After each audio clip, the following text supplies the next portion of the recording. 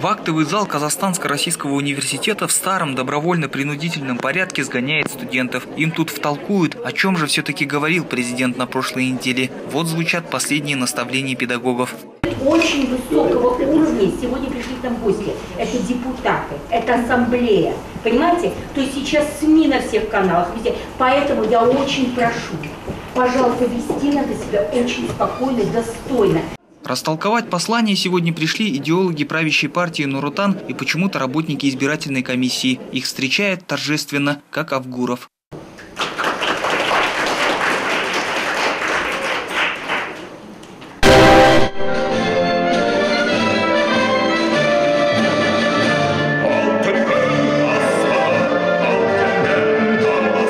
Один из партийных идеологов долго и сверхакадемично делится пережитым и переосмысленным. Тут тебе и Кант, и Библия, и Коран, и психоанализ на десерт. Ельбасы как раз в конце еще раз говорит, надо дойти до каждого, изменить, произвести инверсию, индокринацию, инклюзивность, то есть изменить сознание, мышление, парадигму, может быть даже какими-то э, э диверсификационными методами индокринации, где-то какой-то провести насилие в каком смысле? Заставить. Представитель ЦИК полчаса рассказывает, как надо правильно с пользой переживать всякое послание президента. Каждый человек должен через себя пропускать.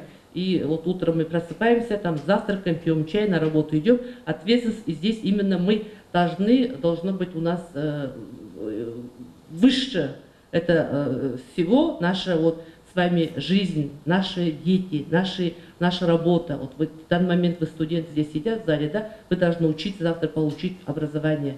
Правда, бывший депутат парламента Серикбай Алибаев вынужден признаться, послание он даже со своим законодательным багажом не понял. Послание президента, э, в частности Назарбаева послание, с каждым годом слабее и слабее становится. Или возрастное, э, или что-то такое, или команда слабеет – или мы идем вообще к тупику. Поэтому вот э, такие послания, я думаю, э, не стабилизируют общество, а дестабилизируют.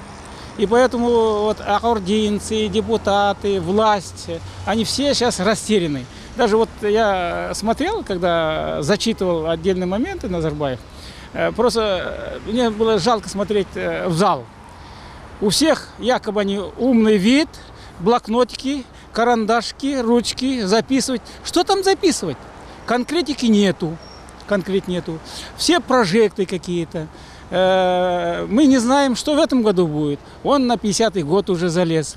Куда более конкретный эффект того общения на ходу со студентами. Здравствуйте. Скажите, пожалуйста, вот, э, что-нибудь из посланий запомнилось? Ну, самое главное запомнилось то, что нам на будущий год, в 2016 году, повысят, э, повысят имеется в виду зарплату как, очень, как этим, как нашим студентам. И мы в будущем будем получать еще больше. Здрасте. Скажите, пожалуйста, что-нибудь из послания запомнилось? Э, Мемлекет Ель. Сейчас, я не хочу отвечать. Скажите, пожалуйста, что-нибудь из послания запомнилось? Запомнилось, но нет, спасибо. Скажите, что-нибудь из послания запомнилось? Впрочем, вряд ли студентам и партийным деятелям эти мелочи помешают поставить очередную классическую галочку. Беседа с подрастающим поколением прошла на высоком идейно-политическом уровне.